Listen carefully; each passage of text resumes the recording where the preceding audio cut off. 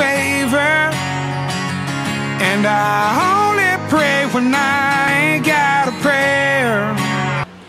I want you to love you for you because you're awesome. You're wonderful. I want you to love you for you because you're awesome. You're wonderful. You're strong.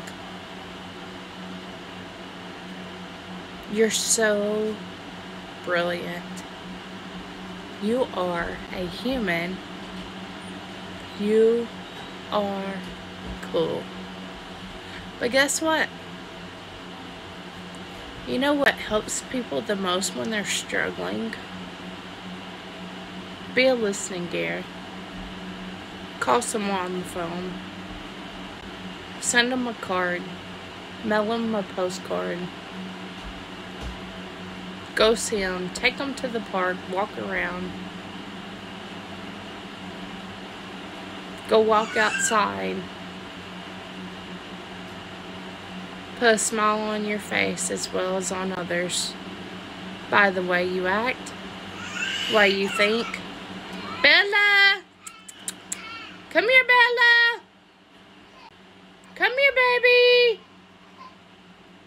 Sorry, y'all. Bella went there to check on sister, but of course they're right there. Come here, baby! Come here, baby! She just wants to watch with you. Can you let her watch with you?